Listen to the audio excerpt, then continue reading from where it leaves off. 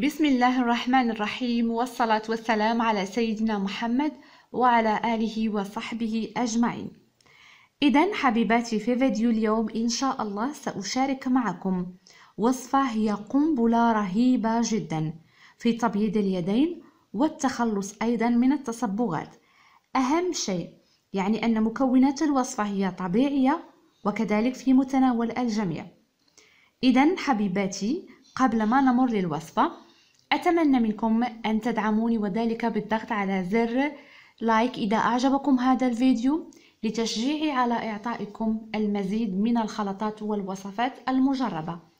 كذلك إذا كنتم من الزوار الجدد لقناة وصفات لكم فأهلا وسهلا بكم يسعدني انضمامكم للقناة وشكرا لكم دائما. إذا حبيباتي على بركة الله أول خطوة سوف نقوم بها وهي التي تعطي تبييض رائع وهي خطوة التقشير. بالنسبة إلى المقشر لكم واسع النظر وحرية الاختيار. ولكن أنا سوف أشارك معكم أحسن وأسهل مقشر بإمكانكم الاعتماد عليه. بالنسبة إلى هذا المقشر سنحتاج فيه إلى تقريبا مقدار ملعقة كبيرة من السكر الأبيض العادي. إذا كان كذلك متوفر لديكم السكر البني يكون من الأحسن. هنا أنا لدي تقريبا مقدار ملعقة كبيرة من السكر بإمكانكم مضاعفة يعني الكمية. بالنسبة إلى ثاني مكون سنحتاج كذلك إلى زيت الزيتون. فبالنسبة لزيت الزيتون خاصة يعني إذا قمتم باستعماله في حال استعمال يعني أي وصفة سواء مقشر أو ماسك يحتوي على زيت الزيتون فلا يجب التعرض لأشعة الشمس أي يجب استعماله ليلا لأن استعمال زيت الزيتون مقابل الشمس سيؤدي إلى إسمرار البشرة. إذا هنا سوف نقوم بإضافة نأخذ إناء مناسب نضع فيه تقريبا مقدار كما قلت لكم ملعقة كبيرة من السكر الخشن ثم سأضيف إليها مقدار ملعقة صغيرة فقط من زيت الزيتون وندمج العناصر لأننا هنا نريد يعني وصفة تكون على شكل مقشر أي لا تكون سائلة. نستمر في خلط المكونين مع بعضهما البعض إلى غاية.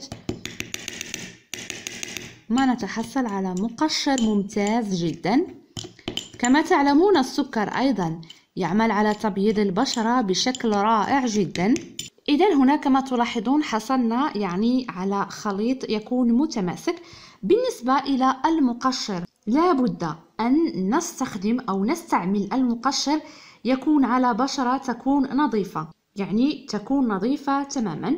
بالنسبة إلى استعمال هذا المقشر سنأخذ القليل منه ونقوم بتطبيقه على البشرة بالنسبة لبشرة اليدين. دائما نركز على المناطق أو على المفاصل مفاصل الأصابع والتي تكون يعني أكثر المناطق عرضة للإسمرار. نحاول الفرك يعني نأخذ كمية بهذا الشكل ونقوم بفرك اليدين هكذا. بالخصوص كما قلت لكم المفاصل إذا كان بها سواد نفرك تقريبا بحركات تكون دائرية لمدة يعني تقريبا مدة عشرة دقائق.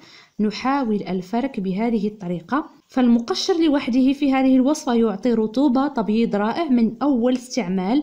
إذا بهذه الطريقة نستمر هنا في تقشير طبقات الجلد الميت بهذه الطريقة. تقريبا كما قلت لكم لمدة تتراوح يعني إلى عشر دقائق فهي كافية. أما الآن فسوف ننتقل إلى الخلطة الثانية. إذا الخطوة الثانية التي قلنا عنها هي عبارة عن ماسك ماسك لليدين. سنحتاج فيها أو في هذا الماسك هنا إلى معجون الأسنان. هنا لا يشترط عليكم يعني نوعية معينة بل استعملوا المتوفر لديكم. أنا هنا سوف أستخدم تقريبا مقدار ملعقة من معجون الأسنان. نأخذ إناء هكذا مناسب. سأضيف فيه مقدار ملعقة من معجون الأسنان بهذا الشكل. بالنسبة للمكون الثاني فسنحتاج إلى بيكربونات الصودا أو بيكربونات الصوديوم. وكما تعرفون البيكربونات هذا المكون رائع جدا في التبييض في إزالة طبقة الجلد الميت. بالنسبة إلى الكمية أنا سوف أقوم هنا بإضافة مقدار ملعقة صغيرة. سأضع مقدار ملعقة صغيرة هكذا من بيكربونات الصودا أو بيكربونات الصوديوم. بعد ذلك سوف نضيف عصير الليمون الحامض هذا المكون لوحده قادر على إزالة الإسمرار وإزالة طبقة الجلد الميت والتصبغات ولكن في حالة استعماله يعني بالطريقة الصحيحة أي أن يستعمل بعيدا عن أشعة الشمس. يعني نستعمله في الليل. باختصار سنقوم هنا بإضافة كمية عصير الليمون الحامض هكذا بهذا الشكل. كما تلاحظون هناك يعني فوران. هذا شيء طبيعي جدا بسبب التفاعل. إذا في هذه الوصفة نحاول أن نكون سريعين جدا في خلط ودمج هذه العناصر جيدا مع بعضها البعض بهذا الشكل.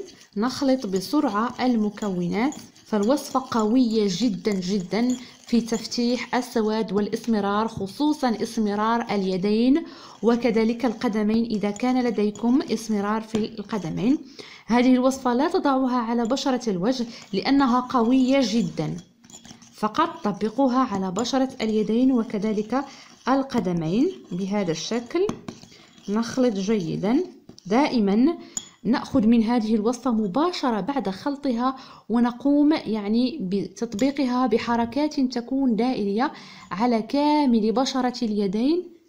هكذا نستمر حتى نقوم بتغطية كامل اليدين. سوف تلا يعني تحسون بوخز قليل لكن هذا طبيعي لأننا لدينا هنا عصير الليمون الحامض وكذلك المكونات كلها يعني رائعة جدا في إزالة الإسمرار نفرد الوصفة بهذه الطريقة. يعني نقوم هكذا بالفرك تقريبا لمدة عشرة دقائق فقط.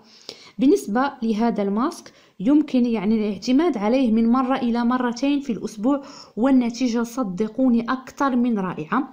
إذا كان هنا بالنسبة إلى الخطوة الثانية ممكن أن تأخذوا يعني نصف حبة من عصير الليمون الحامض وتمررونها هكذا بحركات دائرية على اليدين حتى يعني على المفاصل. نركز جيدا كذلك على المفاصل حتى نقوم بإزالة كل الخلايا الميتة ونقوم بتفتيح البشرة.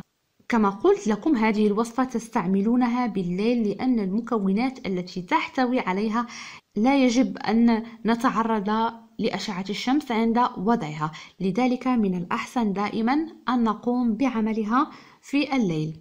هناك كذلك خطوة مهمة حبيباتي وهي كآخر خطوة. أعتقد بأنها خطوة يعني آه واضحة للجميع ألا وهي خطوة الترطيب. أوصيكم جدا بالترطيب ولو كانت إمكانيتكم قليلة جدا ألا وهي ألا تستغنوا عن هذه الخطوة. هي خطوة ضرورية ومكملة للخطوات السابقة. وهي كذلك سر الحصول على بشرة ناعمة بدون مشاكل. وهنا أقترح عليكم ولو يعني تقومون بترطيب بشرتكم سواء بالفازلين أو بأي نوع زيت متوفر لديكم أو أي كريم خاص سواء بالجسم تضعونه على بشرة اليدين لأن الترطيب مهم جدا. كما يمكنكم أيضا يعني تحضير كريم رائع جدا ورخيص جدا ألا وهو نأخذ هنا تقريبا مقدار ملعقة صغيرة من الفازلين. بهذا الشكل فهي تكفي نأخذ ما يعادل مقدار ملعقة صغيرة هكذا. ثم سنضيف إليها بضع قطرات من زيت الأطفال زيت جونسون أو كذلك حتى زيت اللوز الحلو أو زيت زيت الزيتون كذلك أو زيت الورد يعني أي نوع زيت متوفر لديكم. هنا قمنا بوضع مقدار تقريبا ملعقة من زيت جونسون للأطفال لأن بعد هذا الماسك كما قلت لكم ضروري جدا جدا من ترطيب بشرة اليدين حتى نتحصل على يعني ترطيب وكذلك بياض. هنا بعدما قمنا بخلط المكونات مباشرة بعد إزالة الماسك نقوم دائما بالترطيب لأن ترطيب اليدين مهم يزيل التجاعيد وكذلك الإسمرار نقوم بترطيب اليدين جيدا. هنا بالنسبة لمرحلة أو لخطوة الترطيب فهي تكون بشكل يومي. أما بالنسبة للماسك فهو تقريبا مرتين في الأسبوع المقشر مرة واحدة تكفي. أو مرتين بالنسبة للمقشر بالنسبة لتقشير اليدين. إذا نقوم بدهن اليدين بهذه الطريقة يعني بحركات هكذا دائرية حتى يعني تتغلغل أو يتغلغل هذا المرطب في البشرة.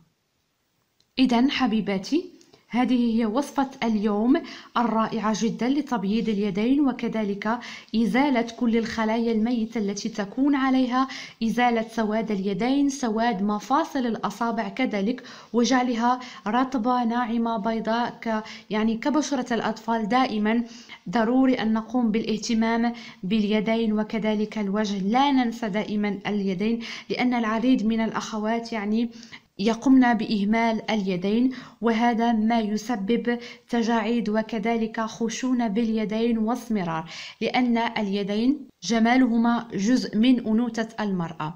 إذا حبيباتي كانت هذه هي وصفة اليوم.